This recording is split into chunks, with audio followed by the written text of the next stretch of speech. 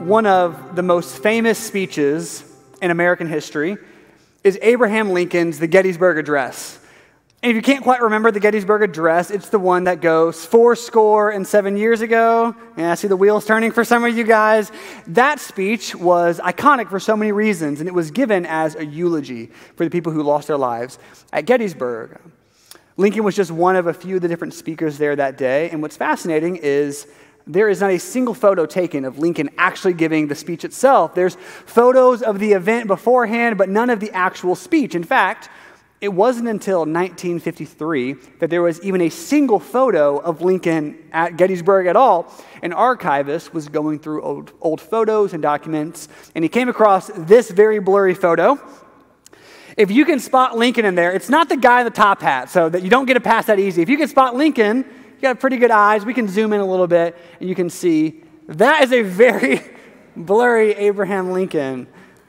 But the reason that there was no photos of Lincoln given the actual speech itself uh, is because by the time he was done giving the Gettysburg Address, the photographer was still setting up the camera, which is just something you would never live down if you were a camera person, right? Like, oh, you were at Gettysburg, you were the photographer, and just no photos of Lincoln. Never gonna live that down, but we shouldn't give him too much flack because in those days, a eulogy could take anywhere from one to two hours to give. In fact, the guy who spoke before Lincoln used all of those two hours at Gettysburg. The reason there's really no photo of Lincoln giving the speech is that instead of the normal two hours given for eulogy, Abraham Lincoln was done in two minutes. So the photographer is still setting up because he thinks he has another hour and 58 minutes because Lincoln was able to consolidate his ideas down in such a concise and distilled version and the man who spoke before Lincoln said, You were able to communicate in two minutes what took me two hours. The best communicators are able to do just that. They can distill down their big ideas. And Lincoln's Gettysburg Address was more than just what he thought about Gettysburg, it was his thoughts on the Civil War, his hopes for the country. It embodied who he was as a president, all in just 10 sentences. That's as long as the Gettysburg Address is. Such a small speech, but it made such a huge impact.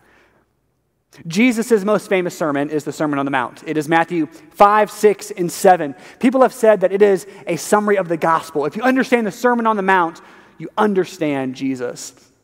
And then people have said that the Beatitudes, which are those opening lines of the Sermon on the Mount, Beatitudes is about blessedness. Who does Jesus say is blessed? There, too, what we find are 10 sentences distills down Jesus' idea of what the kingdom of heaven is all about. There's no time to take a photo, there's barely time to take notes. If you blink, you miss it.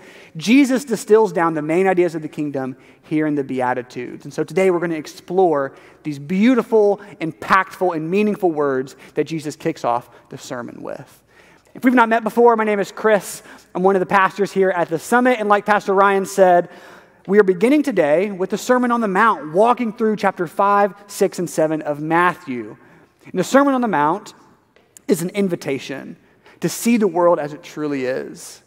It's like Jesus is saying, Let me peel back the curtain to you for you and show you what is actually going on. It seems so simple on the first reading of the Beatitudes. It's like walking into the shallow end of a pool, step by step, beatitude by beatitude. You start to realize there's way more depth here than you ever anticipated. And before you know it, you're almost over your head if you really start to unpack what the Beatitudes are getting at. And here we're in Matthew chapter 5, and it's easy to forget uh, that Jesus hasn't actually done that much up to this point. He's only called four of his disciples.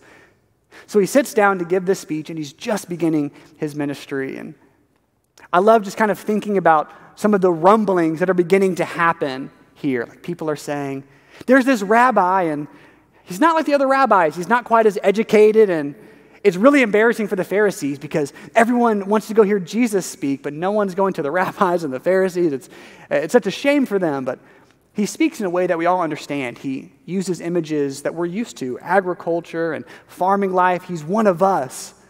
But there were some distinctions that Jesus gives in the Sermon on the Mount. And one of my, my favorite parts of the sermon is you have the disciples, and you also, like always, you have the crowd. And you can find yourself somewhere in this group of people. Maybe you're a follower of Jesus and you're like, if Jesus speaks it, I'm ready to follow it. You resonate with the disciples. You're like, whatever Jesus teaches, I'm ready to apply to my life. Or maybe you identify with somebody in the crowd. You're interested in Jesus. Maybe you're even kind of ready to take that next step, but not quite to the level of discipleship. Or maybe you would be in the back of the crowd. Right? You're like, he's a great communicator. Like, I wouldn't miss an opportunity to hear such a great communicator, but I'm not interested in any type of following. I'm still skeptical about this message. The Sermon on the Mount is for you. And all of us fall into one of those three buckets of types of people close, a little far, farther away, or skeptical and watching at a distance. The sermon's for you. And when he kicks it off, or right before he kicks it off, he summarizes what he came to talk about. It's in Matthew 4, verse 17. He says, Repent, for the kingdom of heaven has come near. That word repent is a tricky one. For some people, it's like triggering. It is such a loaded word, and for some people, the image that comes up are just those people who like to use religion and Jesus in general as like a battering ram. They want to try to bludgeon people into the kingdom, not invite them into the kingdom. So you hear repent, and you think the guy standing on the street corner. If that is at all you, if the word repent is tainted for you, I want to share with you something that a professor of mine said. It's so simple, but he said that to repent means to realign. To repent means to realign, is to say, I know that I have strayed, I have sinned, I have, I have missed the mark, and I'm going to now realign with what God says a human life is supposed to look like. That's what repentance looks like. So that's part one, repent, but the next part is the why, for the kingdom of heaven has come near. The kingdom is breaking in, the curtain is being pulled back. This is actually what the good life looks like. Things are about to change because a new kingdom means a new king, and a new king means new values. So things are going to shake up. And the question, just below the surface of the Sermon on the Mount, is this Which life is the good life? Who do we say is successful? Who do we call blessed? Who do we say they really know what they want out of life? if I could model my life after anybody, it would be this type of person. We have so many competing ideas of what the good life looks like in our culture. And an interesting distinctive about the West is that we mostly value people for what they do, not who they are. But what do you do? What do you add to society? How productive are you? What are you doing to generate? What, what's your value in that regard? And we see really two major groups of people struggle because of this. Uh, it is adolescents and people in their post working years. Because for so often we've said, your value comes by what you do. Here's a quote from Robert Mulholland uh, in his great book, Invitation to a Journey. He says this I believe one of, one of, the underlying realities behind the epidemic of suicide among adolescents and senior citizens is that we're a culture that values people primarily for what they do. In our culture, a person's value, meaning, and purpose reside primarily in the nature of their work. And he's talking about teenagers here, and he says, and teenagers to us don't, quote, do anything, right? We've always said, oh, teenagers don't do anything. And it's like a, a passing comment. But when we live in a society that says, actually, your value is mostly based on what you do, why are we surprised that teenagers often struggle with identity? Like, what? I don't do anything. And then, if for most of your life, You've been identified and valued and lifted up because of what you contribute in your work, in your job, or whatever, and then that stops, it seems like your value then kind of also disappears. But again, the Beatitudes are an invitation to see the world as it truly is. And sadly, in our society, it's not about what people are, it's not about their being, but what do you do? What do you contribute? But the good thing is, what we see as a flourishing life is not always what God calls a flourishing life. Because we think the people who are flourishing are the wealthy, those who can climb the corporate ladder, the job creators, the ones who have it all together, the ones who have no questions about life. Like they know what they want to do, full steam ahead, they know what they want out of life. That's who we value. But just because we value them does not mean that's what is valuable in the kingdom of heaven. Recently, or not recently, but actually a while ago, my wife was reading this book by one of my favorite authors named Bill Bryson. Uh, he writes really phenomenal books. He wrote a book called The Body that has tried to help me get over my anxiety about thinking about blood. That's a different sermon topic there. Uh, he wrote a book called A Brief History of Nearly Everything. That's phenomenal. And then the book that my wife was reading is called At Home. And he talked about how in the 1700s, sugar became more and more available to people, but still really expensive. And so, primarily, it was the most wealthy people who were able to have sugar. And they didn't know what to do with sugar. It's so funny to read about this. It reminds me of me in the kitchen. Like, if it is not barbecue or frozen waffles, like, I don't know what to do with the spices and all the other stuff. I'm like, ah. So, when sugar is first introduced, they're just throwing it on everything. They're like, oh, you got a good ribeye? Throw some sugar on it. Got a good glass of wine? Sugar would make that better. They are actually just eating spoonfuls of sugar if they're able to afford it. And For them, that's the good life. If you're able to just eat spoonfuls of sugar in those days, it's like you must be doing something right because you have wealth. And since pretty much the beginning of time, we attribute wealth to the good life. Of course, uh, the side effect was and still is if you just endlessly eat sugar, uh, there are some consequences. And what began to happen is that the most wealthy people who consumed all this sugar, their teeth started to turn black. Right? It's not a shock. But the insane part about this is that black teeth then became a status symbol. what is wrong with us? We have not changed that much. And so, yeah, so people began to see, oh, if you have black teeth, that meant you can afford sugar. That means you're wealthy. That means you're living the good life. And the even more insane and ironic part is people who weren't wealthy but wanted to appear wealthy would then artificially darken their teeth black to appear like they were living the good life. And it's so easy to look back 300 years and say, that's insane. You think that's the good life? What's the matter with you? It's really difficult to do today. It's really difficult when we swim in our own cultural waters to say, I think we're just being duped. Because we can look back to 300 years ago and say, that is an insane idea. That's an insane way to live your life. But what are we being duped with today? What are we being sold today as the good life? That actually the kingdom of God would say, no, that's not what is valuable. Let me pull back the curtain and show you what's truly valuable. So the Beatitudes are a response. It's Jesus' response to ancient ideas and modern ideas about what the good life looks like. It's like God is saying, let me show you what is actually human flourishing, because everything else is just painting your teeth black. So it's time for us to actually read the Beatitudes, and I think you'll see how these are such simple statements, but the more you sit with them, the more impactful they become. So it's Matthew 5, starting in verse 1. When Jesus saw the crowds, he went up to the mountain. And after he sat down, his disciples came to him. Then he began to speak and taught them, saying, Blessed are the poor in spirit, for theirs is the kingdom of heaven. Blessed are those who mourn, for they will be comforted. Blessed are the meek, for they will inherit the earth. Blessed are those who hunger and thirst for righteousness, for they will be filled. Blessed are the merciful, for they will receive mercy. Blessed are the pure in heart, for they will see God. Blessed are the peacemakers, for they will be called children of God. Blessed are those who are persecuted for righteousness' sake, for theirs is the kingdom of heaven. Blessed are you when people revile you and persecute you and utter all kinds of evil against you falsely on my account. Rejoice and be glad, for your reward is great in heaven. For in the same way they persecuted the prophets who were before you. The actual Beatitudes themselves, the words of Jesus, just 10 simple sentences.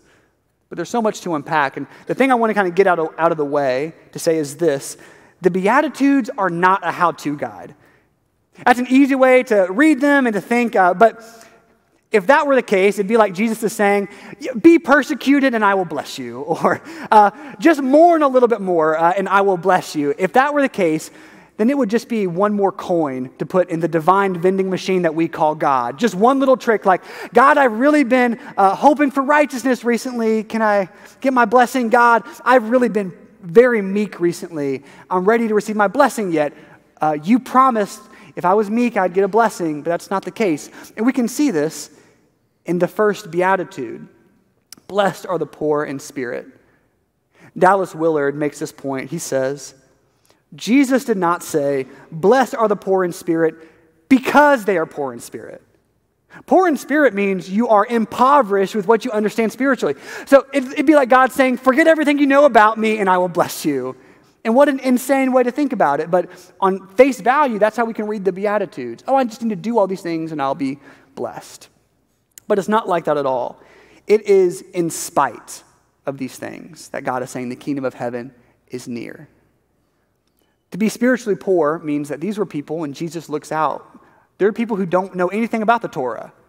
No one's asking their spiritual advice. No one's coming to them for understanding about the things of God. They are forgotten. It's what Dallas Willard would call the spiritual zeros.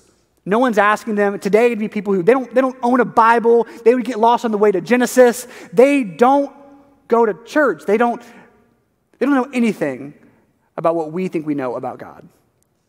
And the great reversal that Jesus offers here is to say, actually, the people who know the least about me, the kingdom is near to those types of people. It's an invitation to see the world as it truly is. The kingdom is available to people, even if they don't know anything about God. So the question is who does the world say is blessed versus who does Jesus say is blessed? In this moment, as Jesus gives his sermon, it's like you can imagine him looking out in the crowd, and he knows some of these people. Some of them are his disciples, the one he's already chosen. And even the strangers in the crowd, Jesus knows because he grew up in rural Galilee. He's like them. And he knows that they're people who they, they, do hunger and thirst for righteousness because they're living in an occupied land. They're one bad day from Rome just taking all that they have. They know what it's like to mourn and to not actually see justice roll down. They know what it's like to try to keep the peace. They know what it's, what it's like to be spiritually impoverished. And Jesus is looking at all of them and saying, The kingdom of heaven is for you. You're broken, but the kingdom of heaven is for you. The kingdom of heaven is for you.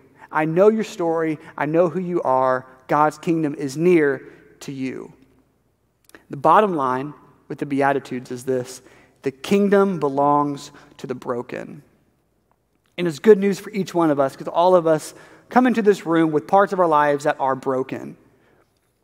The kingdom doesn't belong to the spiritual know it alls, to the wildly successful, to those who have it all together, the most educated, the elite. The kingdom belongs to the people we would least expect to be in the kingdom. Jesus is challenging us to rethink what we think human flourishing looks like. And if you want to understand God's kingdom, you have to understand what he values in the kingdom. And recently I was listening to Tim Mackie. He is uh, one of the guys, a part of the Bible Project. He, he shared this illustration, so I want to give him credit. Um, he shared some artwork from Tim Noble and Sue Webster, and uh, it was uh, art in a room, in a darkened room, and you would walk in to these rooms, and you would see something like this. Here we have the first photo. And it's trash that has been shot through, uh, some things that could be recycled. And that's the first thing you see. But then they would add one additional element, and you would see something completely different. All the elements were actually in place from the beginning, but when the light was added, uh, you saw what was always true the entire time. You were just missing one element of it. There's one more example. Uh, you can see uh, a pile of trash, someone who really liked McDonald's, and then you add the missing element, uh, and you see what was there the entire time. And there's a lot of social commentary you could say about these pieces, and they're meaningful. But to me, what I'm drawn to in these pieces is that it is a challenge to our perspective. It challenges us to say, what do I see when I first look out? And then what do I see when the right element is added? What do I see when the light is turned on? What is the greater truth? And it's like Jesus is saying, I know you see all these people who you think are spiritual zeros. They don't offer anything to the society. It's just basically what's left over. It's the trash, right? But the kingdom perspective is what happens when you turn the light on. That's when you begin to see the greater truth that is there. And so, walking with Jesus is being willing to say, I see one thing, but what does God see in the situation? I see just something that's left over. It doesn't offer any value. It's not productive, but what does God see in these moments? Initially, we see something, but the kingdom, the kingdom perspective turns the light on. So, with the Beatitudes, I think the question that we're left to ask is uh, what do we do with the Beatitudes? I said up front that these aren't commandments. God isn't saying, do this and you'll be blessed. So, if that's the case, how are they supposed to impact us? Well, I think one of the things that it does is it reminds us that God is a God of surprise. Every, every story in Scripture, just about, is God saying, Oh, you thought this person would be raised up. It, it was the person who you least expected. Oh, you think the great nation's the one I'm, I would pick. I'm going to pick Israel. You thought it was the oldest brother. I choose the youngest brother. And over and over again, God is a God of surprise. And that is great because if you feel like you've been forgotten, if you feel like socially you don't add the kind of value that, you, uh, that everybody else is looking for, it's great to know that God is a God of surprise because that means He does not see in you what the world sees in you. He doesn't see you just for what you do because that is exhausting. It is exhausting to try to constantly gain your worth just by what you do. In these opening 10 sentences, Jesus invites us to see the world as it truly is. Stanley Hauerwas um, was giving a sermon on the Beatitudes at his father's funeral. Stanley Hauerwas is a writer, he was a professor at Duke for a while, and he makes this really astute point. He says, Too often the characteristics of the Beatitudes are turned into ideals we must strive to attain. Jesus does not tell us that we should be poor in spirit or meek or peacemakers. He simply says that many who are called into the kingdom will find themselves so constituted. Jesus does not begin the Sermon on the Mount with a list of commands, but with an invitation to change your perspective. Who do you call blessed? Who do you call valuable? Who do you consider worthy? And what happens when you turn the right light on and you see the light of God's kingdom? What changes? And it's an incredible thing because eventually we all get to a point where we're not doing what, the, what our culture considers valuable anymore. We get to a time, I won't preach my entire life. We get to a place with, where what you think makes you uniquely you will no longer be true anymore. And do, does your value just vanish in that moment? Socially, in a lot of, a lot of ways, it does. But the good news of, of the kingdom is that it's not those things that make you valuable. It's not your doing that makes you valuable. And it's easy to think when we read these Beatitudes that they are just unrealistic. Like, how can the kingdom of God be close to those who are spiritually poor? They don't even know anything about God. How could a peacemaker be someone who God blesses. They're just indecisive. They stand in the middle. They never get anything done. That is not productive. Pure in heart, showing mercy, that's not practical in the real world. You get taken advantage of. So on and so forth. With each beatitude, we could respond with, well, that's not very practical. It takes courage to believe in Jesus' view of the world. But how much of a relief is it to know that your worth doesn't come from what you do? And that your brokenness is actually a place where God's presence can meet you. The big question from the Beatitudes to the end of the Sermon on the Mount that Jesus is asking is this Will you follow me? Because to follow somebody is to trust somebody, and it's to trust that the way I see the world, the way that Jesus sees the world, I agree with that way. The people who we think are just leftovers, who don't contribute to society, who aren't productive, Actually, the kingdom of heaven is near to those types of people. So the next step, I think, in this moment, is to ask yourself do I at first, do I need to realign my life? Jesus' call to repent and turn to God for the kingdom of heaven is near. Is a call to us today still. Wise people constantly look to realign all parts of their life, the meaningful parts of their life, with family, work, and relationships to say, Have I drifted from my original commitment? I said I would do this thing. Am I still going in the direction I first set out on? Don't let your spiritual life be the one thing you just kind of let drift, assuming it will stay aligned. So today, we want to make space for this to actually happen. You know, most days I'm as introverted as they come, uh, at least that's how it feels. Um, so I know that to have a space here down front can feel intimidating, but creating an opportunity for you in this moment to actually say, I need to realign myself is important for us as a church. So here in a moment when uh, the band comes back out, myself, Pastor Ryan, and some members of our care team will be available for prayer. And maybe for you, it's about realigning your life. Maybe it is, um, I committed to God and I feel like, man, I just, I've let myself drift away. Or maybe it's first time. Maybe for the very first time, you want to say, I, I want to align my life with, with what Jesus talks about in the Sermon on the Mount. Or maybe you need prayer for something else. Maybe you need prayer for encouragement, whatever it is, we'll, we'll be down front for you. The message of the kingdom is a beautiful image that God is close to the broken. It's an invitation for us to ask, Who do you say is blessed? And is it time to say, God, I want you to turn the light on so what I think of as insignificant and not valuable, I want to see it with your eyes. Who do you call blessed? These 10 sentences that kick off the Sermon on the Mount, they're a great invitation, and I pray that today you would not discard that invitation, that you would take the time as we close out the service to say, How do I need to realign my life? Because the culture's value system is exhausting, and the Beatitudes show us that there is such a better way. Your brokenness does not exclude you from the kingdom. The kingdom of God was made for people who are broken, and that's good news.